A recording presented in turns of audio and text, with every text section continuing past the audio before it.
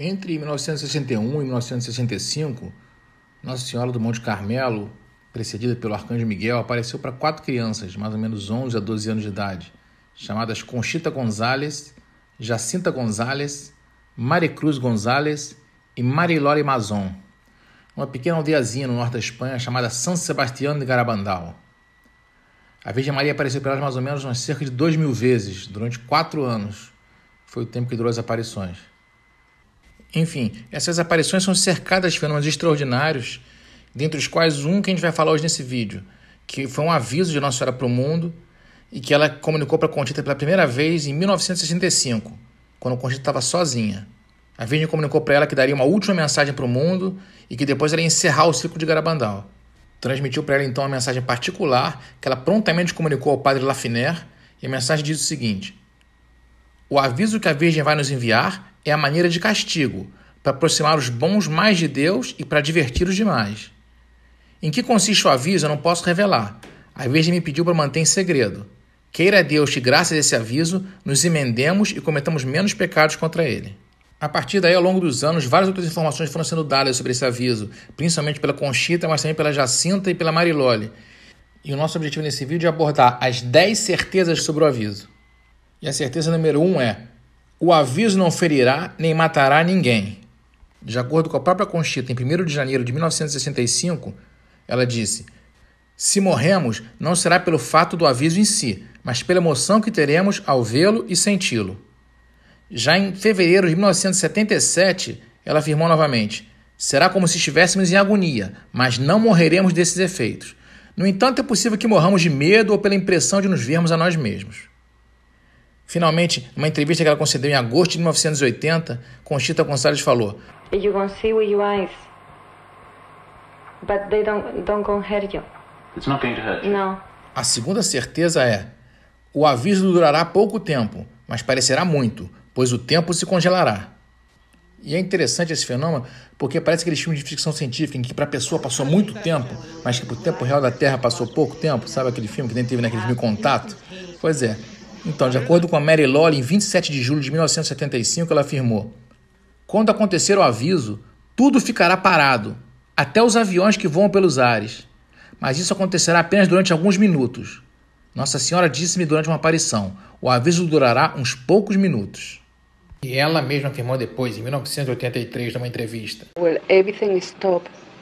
It will be like for a moment. Everything will stop. Everybody will notice how much we offended God. Já Jacinta Gonzalez, em fevereiro de 76, afirmou: O aviso será de muito curta duração, alguns minutos, mas esse pouco tempo tornar-se-á tremendamente longo pela dor que nos causará. Ou seja, vai ser pouco tempo, mas vai ser tão intenso que vai parecer que foi longo o tempo que se passou. E a terceira certeza sobre o fenômeno do aviso é: o nome do fenômeno existe no dicionário e começa com A. Essa informação é muito interessante porque a Conchita só falou sobre ela uma vez para uma senhora em 1965, quando elas caminhavam juntas, e ela disse: Sim, é verdade que a Virgem disse-me o nome do fenômeno. Esse nome existe no dicionário. Começa com A, mas pediu-me para não revelar. E é curioso ela nunca mais ter falado sobre essa informação tão importante. Tanto que anos depois, a revista Garabandal Magazine, em dezembro de 1984, publicou uma entrevista de 77, onde foi perguntado novamente para ela sobre esse fato e ela não negou essa afirmação. Ela apenas disse que não divulgou mais e sentia que não devia mais falar sobre isso. Há muitos anos atrás, você nos contou que o evento do aviso começa com a letra A. Uma vez que a Nossa Senhora nunca pediu a você para não revelar isso, você pode agora mencionar isso? Ela respondeu: Ela não proibiu isso, mas eu não sei por que eu não disse. E eu não sinto como se eu devesse dizer isso agora. Mas mesmo assim, o que poderia ser então essa palavra com a letra A do dicionário? Muita gente fica imaginando, seria o quê? Um asteroide? Uma aurora boreal? Mas o fato é que a Contita nunca mais falou sobre isso. Bom, e a quarta certeza sobre o aviso é: será visível no mundo inteiro para todas as pessoas, crentes ou não crentes. E em 14 de setembro de 1965, a Conchita disse: será visível no mundo inteiro, qualquer que seja o lugar onde alguém se encontre. Vê-lo-ão e sentirão tanto os crentes quanto os não crentes de todos os países.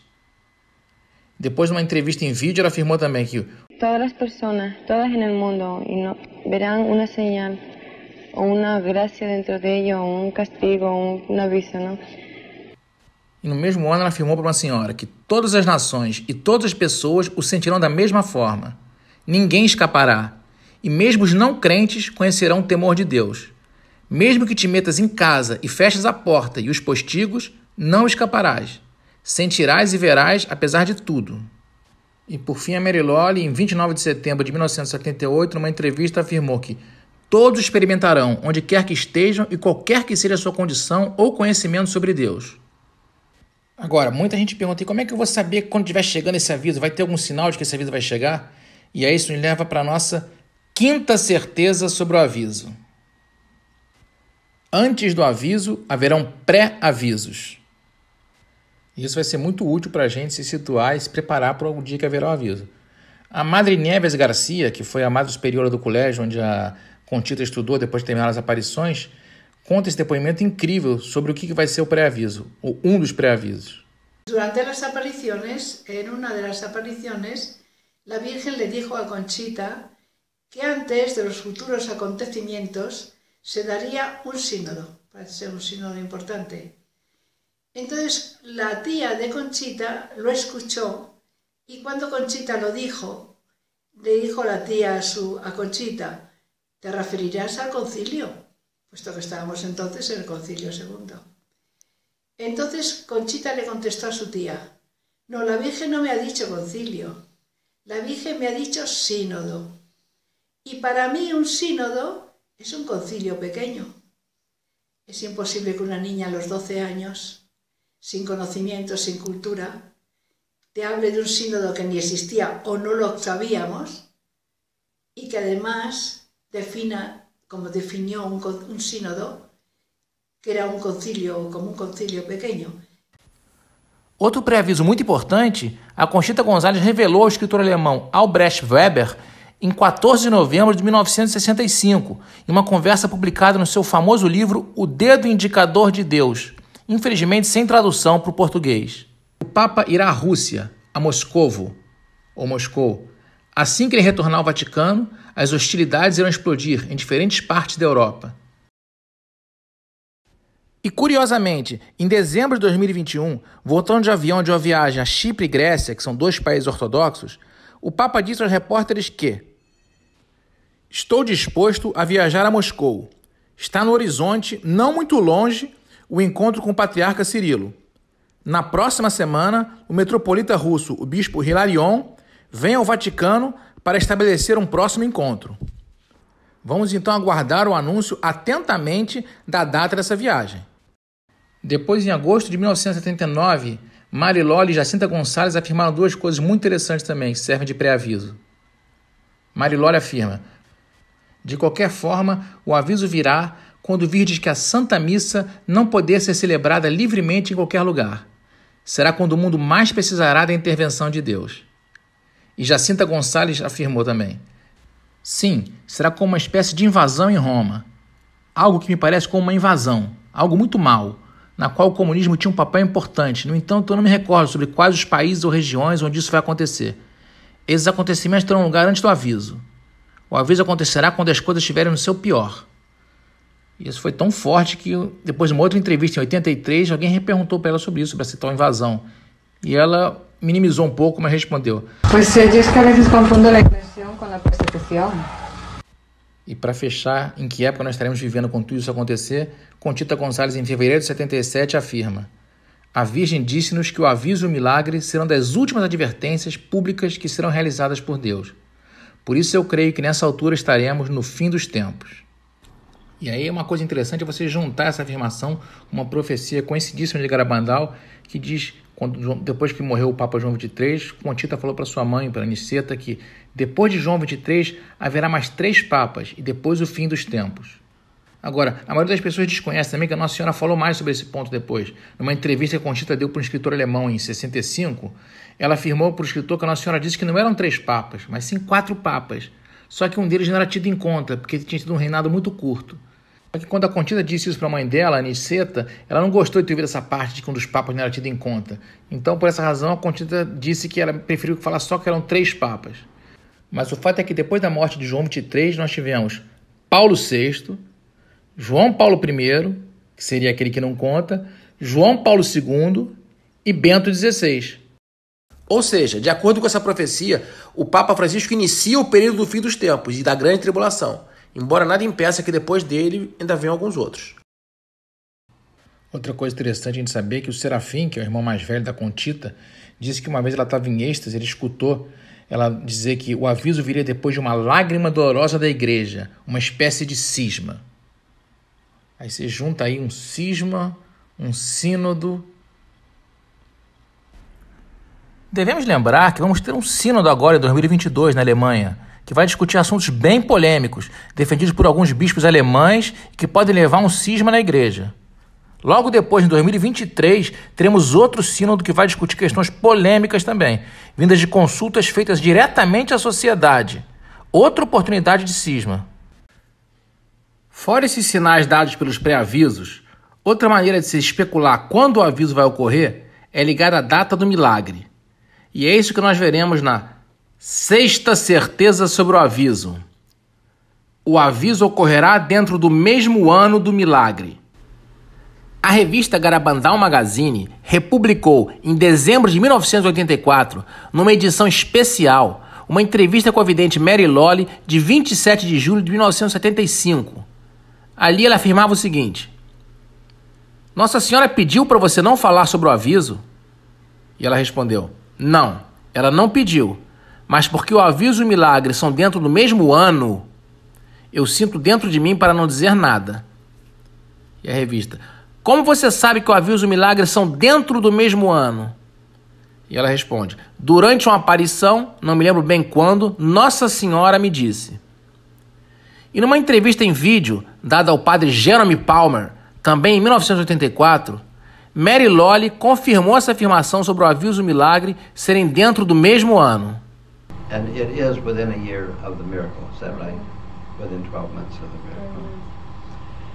Muitos entendem essa afirmação como se os dois eventos acontecessem dentro do mesmo ano numérico, mas outros compreendem que ela apenas situou os dois no mesmo espaço de um ano, ou seja, dentro de 12 meses. E realmente, em 29 de setembro de 1978, o padre Francis Benac publicou no seu informativo Call of Garabandal uma entrevista que fez com a vidente Mary Lolly na sua casa em Massachusetts. E nessa entrevista, ela esclarece que o aviso e o milagre ocorrerão dentro do espaço de um ano. Padre Benac, você diria que esse aviso será uma ajuda para a nossa purificação? Existe alguma correlação entre aviso e o milagre? E a Mary Lolly. Sim, os dois terão lugar dentro de 12 meses. De qualquer forma, a Mary Lolly sabia apenas o ano do aviso, não sabia o dia. Como ela confirma nessa mesma entrevista de 78. Padre Benac, você conhece o ano do aviso? E a Mary Lolly, sim, o ano, mas não o dia.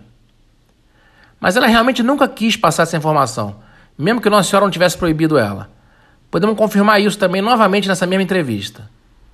O Padre Benac, mas você recebeu alguma instrução de Nossa Senhora para não passar essa informação para os outros? E a Mary Lolly: Não. Ela nunca me disse para não fazer isso, mas eu sinto que não deveria dizer isso nesse momento.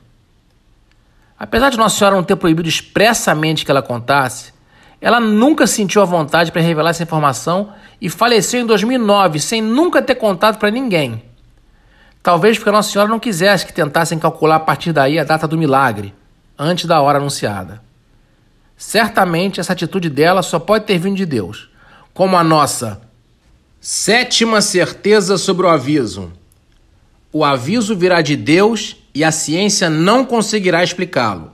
Em qualquer lugar do mundo, dentro de um avião ou donde puedas encontrarte, tu percibirás el aviso y sabrás que viene de Dios. Pero nadie podrá hallarle una explicación, ni hombre alguno será capaz de razonar. Depois, em fevereiro de 77, ela afirmou também: Ninguém terá a menor dúvida que virá de Deus e que não se trata de algo humano. E então, finalmente chegamos à nossa oitava certeza. O aviso terá um efeito exterior e visível.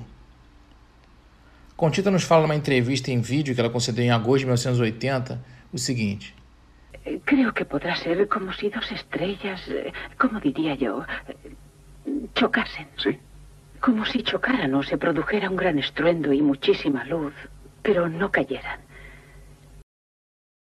Aqui nós não temos saber o quanto literal é essa descrição dela, porque antes mesmo ela disse que era uma coisa que viria de Deus, então a gente não sabe se vão ser dois astros reais que vão se chocar ou se realmente vai ser uma, uma visão que todos terão, como se dois astros se chocassem, né? como duas estrelas. Mas o fato é que todos vão ver no céu um evento cósmico gigante, como se duas estrelas se chocassem. Um brilho enorme, um ruído, um barulho. Agora vocês podem estar perguntando, mas onde da Bíblia que está escrito isso aí tudo? Que vai ter um aviso um dia, quando chegar essa situação, esse pré-aviso, tudo isso. Eu queria lembrar para vocês uma passagem de São Mateus, capítulo 24. Versículo 7, vê se vocês reconhecem. Irá levantar-se nação contra nação, reino contra reino, e haverá fome, peste e grandes desgraças em diversos lugares. Temos fome hoje em dia e temos uma pandemia nos atingindo. No versículo 15: Quando virdes estabelecida no lugar santo a abominação da desolação que foi predita pelo profeta Daniel, em 9,27. Quer dizer, um lugar santo, ou seja, acho eu que no Vaticano, no trono, né, a abominação vai estar estabelecida. Como a gente viu ele, ela falar que dentro de Roma ia haver uma invasão. Já no versículo 16 diz então: Então os habitantes da Judéia, o povo de Deus, né, fujam para as montanhas. Essa é a hora das pessoas procurarem seus refúgios para fugirem da grande perseguição para os cristãos, que foi predita também. Versículo 21: Porque então a tribulação será tão grande como nunca foi vista desde o começo do mundo até o presente e nem jamais será, confirmando o que foi dito também pelas videntes, que ia ser a pior hora da humanidade. Versículo 22 continua: Se aqueles dias não fossem abreviados, criatura alguma escaparia, mas por causa dos escolhidos, aqueles dias serão abreviados. Interessante ver que a nossa oração e a nossa santidade pode abreviar essa intensidade dessa desolação, né? 25. Eis que estás prevenidos, ou seja, é para a gente se prevenir. Deus vai prevenir o povo dele antes. Então não é para a gente achar que não tem que se preocupar com isso, mas devemos buscar informação para poder se prevenir. E ele continua no 29. Logo após esses dias de tribulação, o sol escurecerá, a lua não terá claridade e cairão do céu as estrelas, e as potências dos céus serão abaladas. Exatamente a descrição do choque dos dois astros no céu. Agora vamos para a nona certeza sobre o aviso. O aviso terá também um efeito interior e espiritual, como um segundo Pentecostes, um juízo particular. Ou seja, depois do efeito exterior, nós teremos um efeito interior, pessoal, íntimo, espiritual, em forma de um juízo particular, onde todos nós veremos todos os nossos pecados e o efeito que isso tem no coração de Jesus. Uma espécie de segundo Pentecostes. Vamos ver isso agora. Contita Gonzalez, em 14 de setembro de 1965, falou sobre isso. O aviso será uma correção de consciência do mundo, ou seja, as pessoas vão tomar consciência dos seus pecados, do quanto isso desagrada a Deus. Depois, numa entrevista em 73, em vídeo, ela disse: E se encontrarão como solo no mundo, eles delante de sua consciência delante de Deus. Nesse momento verão todos os pecados e todo o que han hecho com seus pecados. Quedarme eu solo no mundo por unos minutos, como si no existiera nada más que yo y Dios y mis pecados, uh -huh. y, será todos al mismo tiempo. Todos al mismo tiempo, sí. No quiero decirle que todos lo sentiremos diferente, porque es según la conciencia. O sea, el aviso, a pesar de que veremos algo, sentiremos algo, lo peor es ver nuestros pecados y lo que más hemos hecho con ellos. O sea, lo malo que hemos hecho con ellos, con los pecados. Y entonces, pues, sus pecados sean diferentes te lo verá diferente y yo diferente. Em fevereiro de 1977, numa entrevista também, Jacinta Gonzalez complementa: será para o bem das nossas almas, para que possamos ver o interior de nós mesmos e na nossa consciência possamos ver o bem e o mal que fizemos. Sentiremos nesse momento um grande amor pela nossa Mãe e Pai Celestial e pediremos perdão pelas nossas faltas. Mary Lori fala também em 29 de setembro de 78. Vai ser como um sentimento interno de pena e dor por termos ofendido a Deus. Deus ajudará a vermos o mal que causamos com esses ao próprio Deus. Ajudar-nos a sentir essa dor interior, porque muitas vezes, quando fazemos algo mal, limitamos a pedir perdão a Deus só da boca para fora. Mas, graças ao aviso, ajudar-nos a sentir essa profunda dor. E Conchita, em 1980, numa entrevista, complementa: Nesse momento, veremos nossa própria consciência e se hará presente todo o que hayamos hecho ou deixado de fazer. ¿Lo veremos? Sí, veremos todo o bem e, e o que deixamos de fazer. E é interessante que Constantino Gonzalez agora começa a falar de uma forma que parece realmente um Pentecoste. Veja só. Será como um fogo. Não queimará nossa carne, mas o sentiremos no corpo e no espírito. E finalmente, Jacinta Gonçalves, em fevereiro de 1976, descreve como se fosse um segundo Pentecostes. Virá sobre nós como um fogo do céu, que repercutirá profundamente no interior de cada um. À sua luz, veremos com toda clareza o estado da nossa consciência. Veremos o que significa perder a Deus. Sentiremos a ação purificante de uma chama abrasadora. Em resumo, será como passar pelo juízo particular, ainda em vida, na intimidade de cada um. Muito interessante ela falar uma chama abrasadora, um juízo particular.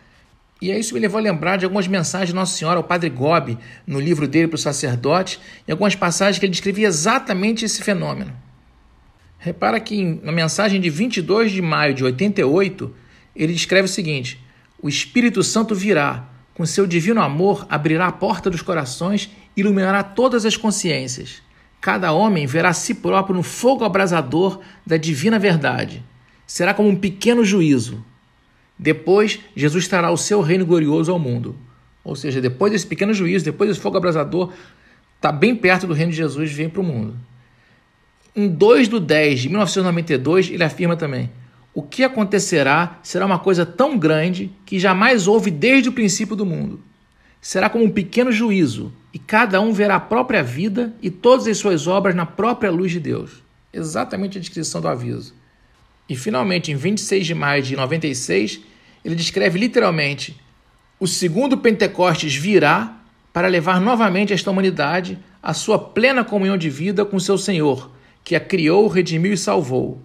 Línguas de fogo miraculosas e espirituais purificarão os corações e as almas de todos, que ver-se-ão a si mesmos na luz de Deus e serão transpassados pela espada cortante da sua divina verdade. O segundo Pentecostes queimará com o fogo de seu divino amor os pecados que obscurecem a beleza de vossas almas. E agora finalmente chegamos na décima certeza sobre o aviso. O aviso será uma preparação para o milagre.